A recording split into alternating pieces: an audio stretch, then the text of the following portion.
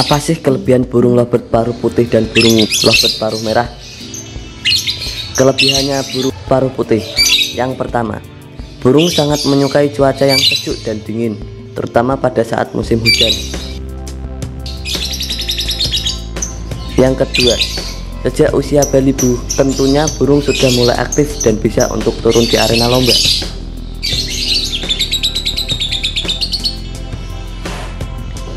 Yang ketiga, kebanyakan burung lovebird paruh putih mempunyai warna bulu yang indah dan bagus.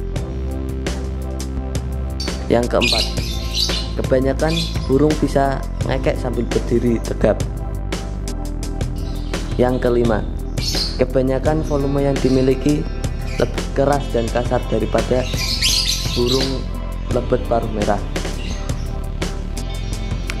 Yang keenam, pada saat burung sedang merasa mod, burung akan dapat mengeluarkan performa yang maksimal. Yang ketujuh, burung sangat mudah aktif dan gacor ada saat di arena lomba. Yang kedelapan, memiliki durasi ngekek yang kebanyakan rajin.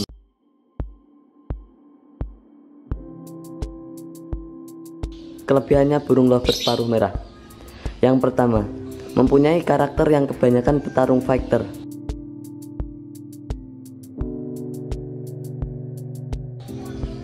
Yang kedua, tentunya burung lovebird cepat stabil dan juga mapan untuk dilombakan.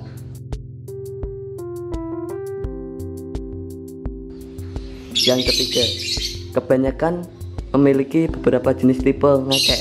Ada yang 50% rajin ngekek pendek, ada yang 25% rajin ngekek menengah ada yang 15% ngekek panjang. Akan tetapi ngetem lama. Dan ada juga yang 10% rajin ngekek panjang.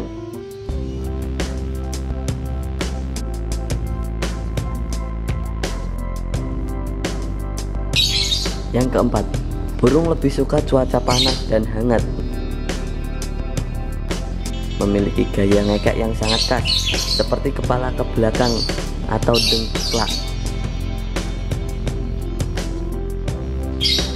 Yang kelima pada usia balibu burung sudah mulai aktif turun ke lapangan.